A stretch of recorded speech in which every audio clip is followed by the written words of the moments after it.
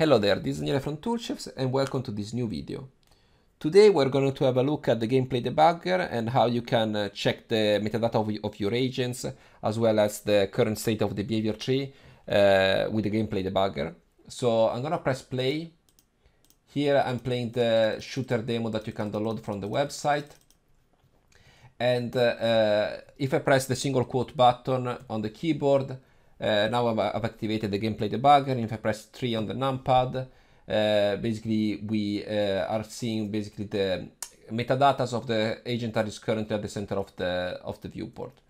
So here, uh, let me just make this a bit bigger. Uh, if you see here, we have the at the center, we have the, both the name of the agent group as well as the uh, ID of the group ID of the agent that is currently at the center of the viewport. And on the left, we have the uh, all the metadata for that specific agent. So we have the group ID here, which matches the frame rate, uh, the active state, and all other, uh, you know, uh, metadata that are uh, attached to this agent.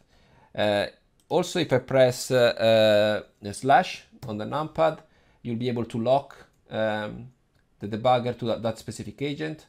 Uh, you can also press again slash to unlock it and now you can switch again to other agents. Uh, if you press also star, uh, this now shows also the current state of the behavior tree.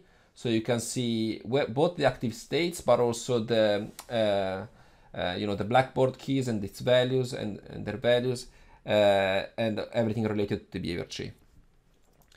So this is how you can use the gameplay debugger to check the metadata uh, runtime uh, of your agent as well as the state of the behavior tree.